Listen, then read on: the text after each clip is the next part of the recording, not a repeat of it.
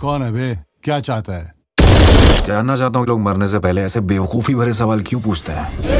नमस्कार दोस्तों, कैसे हैं आप? उम्मीद है कि अच्छे ही होंगे। तो दोस्तों, आज के दिन हम बात करेंगे one of the best action thriller film है, जिसको कंपेयर करा जा रहा है किल मूवी से। और दोस्तों, उस फ़िल्म का नाम है युद्रा दोस्तों, आपको बता दें कि ये फ़िल्म एक वाकई में R rated mass entertaining action thriller film है।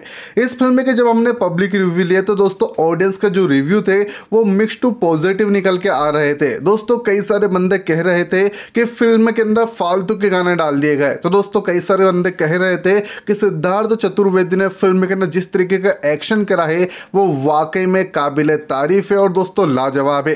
फ़िल्म की स्टोरी आपको डिसेंट नज़र आती है और दोस्तों, फ़िल्म का प्लॉट सेकेंड हाफ़ में स्टार्ट करा जाता है।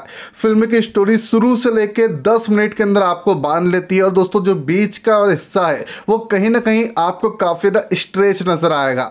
अगर दोस्तों बात करी जाए तो सिद्धार्थ चतुर्वेदी, मालविका मोहन और दोस्तों राघव जूलियाल जैसे one of the best character film के अंदर आपको काम करते हुए नज़र आ रहे हैं। हमने इस फ़िल्म के ऊपर रिसर्च करी और हमको पता चला कि मूवी का बजट 30 करोड़ रुपए। जबकि दोस्तों फ़िल्म ने अपने पहले दिन 4 करोड़ 50 लाख रुपए की ऑक्यूपेंसी बताई थी। अब दोस्तों, ये फ़िल्म अपने दूसरे दिन के अंदर एंट्री ले चुकी है और जिस तरीके से मूवी का बस क्रेज और ऑक्यूपेंसी देखने के लिए मिल रही है फ़िल्म अपने दूसरे दिन लगभग दो करोड़ बीस लाख रुपए कमाते हुए नज़र आ रही है। तो दोस्तों, वहीं पे फ़िल्म का दो दिनों का इंडियन नेट कलेक्शन छह करोड़ सत्तर लाख रुपए हो चुका है। और दोस्तों, अगर ये फ़िल्म इस तरीके से ही कलेक्शन करती रही। तो मुझको लगता है कि कहीं ना कहीं फ़िल्म युद्रा बॉक्स ऑफ़िस के ऊपर एक काफ़ी बड़ी हिट साबित हो जाएगी।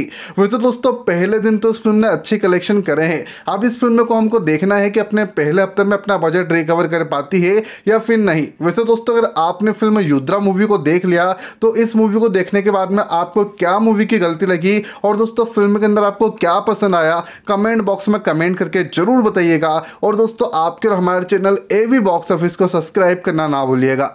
जय हिंद वंदे मातरम।